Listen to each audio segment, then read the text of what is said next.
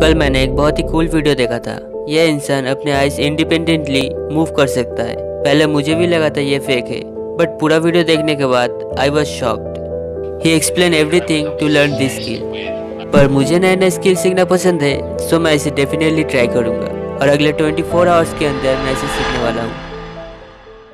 And the time started from now मैं intuitively practice start किया but I couldn't do much यहाँ पे simply मैं अपने आइस क्रॉस कर रहा था, जो ऑलमोस्ट सभी को आता है। मतलब मैं भी आप जैसा ही हूँ। अगर मैं इसे कर सकता हूँ तो आप भी इसे कर सकते हैं। पर सबसे पहले हमें इसका बेसिक समझना होगा। इंसानों की आइस डिज़ाइन है कुछ इस तरह से। हम अपने आँखों से एक साथ दो अलग अलग चीज़ नहीं देख सकते हैं क्योंकि हमारे दोनों आँखें एक साथ मूव करता है, एक ही डिरेक्शन पे। और इसे कहते हैं विनोक्यूलर विजन पर हमारे एक आँख दूसरे आँख से स्लाइटली डिफरेंट एंगल में चीज़ों को कैप्चर करता है। और इससे हमें दो अलग अलग इमेज मिलता है। और ये दो इमेज प्रोसेसिंग के लिए जाता है ब्रेन में। और प्रोसेस होने के बाद हमारे ब्रेन क्रिएट करता है थ्री डायमेंशनल इमेज और इसी कारण हम अच्छे से समझ पाते हैं perspective length wide and distance between object And now is the time to follow the tips from this video.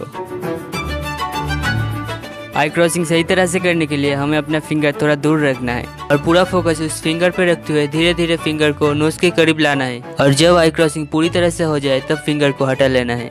And you will notice that finger हटाने से हमारे आईज फिर से नॉर्मल कंडीशन पे आ जाता है। पर हमें इसे कंट्रोल करना सीखना होगा। और जब हम इसे कंट्रोल कर पाएँगे, तब हमें कोई भी ऑब्जेक्ट की ज़रूरत नहीं होगा आई क्रॉसिंग करने के लिए। और एंड में हम आई क्रॉसिंग कंडीशन पे स्टे कर पाएँगे। And after five minutes of practice मैं इसे सीख चुका था।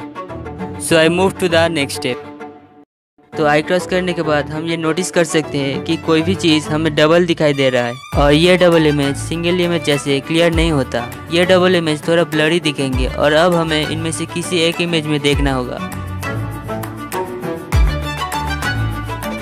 थोड़ा बहुत प्रैक्टिस करने के बाद मैं अपना वीडियो फुटेज चेक किया और मैंने देखा, मैं इसे कर पा रहा था।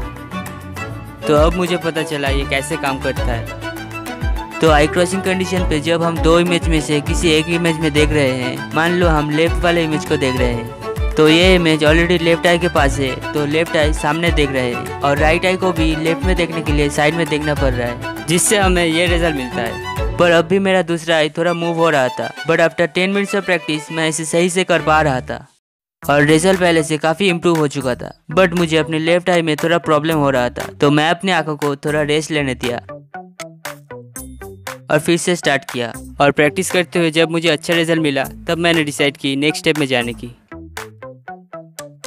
अभी तक मैं जो कर रहा था, अब इसे नॉर्मल कंडीशन पे करना होगा। मतलब आई क्रॉसिंग किए बिना हमें अपने एक आँख मूव करना होगा। और ये थोड़ा डिफ़िकल्ट है।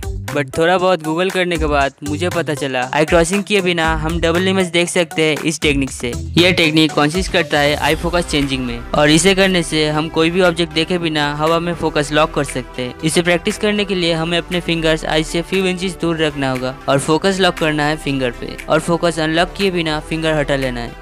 यहाँ पे जितना देर तक हम फोकस होल्ड कर पाएँगे, उतना ही अच्छे से हम वन आई मूव कर पाएँगे। सो मैं इसे 20 मिनट तक प्रैक्टिस किया और अब मैं इजीली 30 सेकंड के आसपास फोकस लॉक कर पा रहा हूँ। Now we will notice that जब हम किसी भी ऑब्जेक्ट को आउट ऑफ़ फोकस में लाएँगे, उसका इमेज ऑटोमेटिकली डबल हो जाएँगे और हम इस कंडीशन पे किसी एक इमेज को देखते हुए आई क्रॉस कर पाएँगे। बट एक्चुअल में यहाँ पे आईज क्रॉस नहीं होगा, क्योंकि हम सिर्फ़ एक इमेज देख रहे हैं। सो so, यहाँ पे लेफ़्ट इमेज देखने के लिए लेफ़्ट आई सामने देखेंगे और राइट आई लेफ़्ट इमेज देखने के लिए लेफ़्ट साइड में देखेंगे और हमें इसका आउटपुट मिलेगा कुछ ऐसा।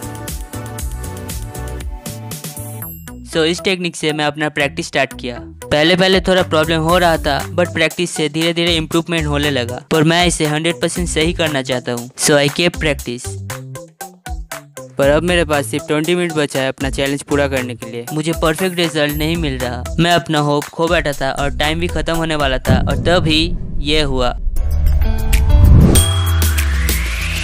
This is called hundred percent perfect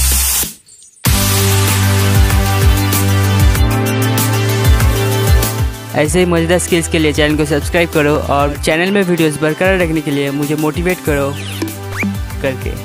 it's totally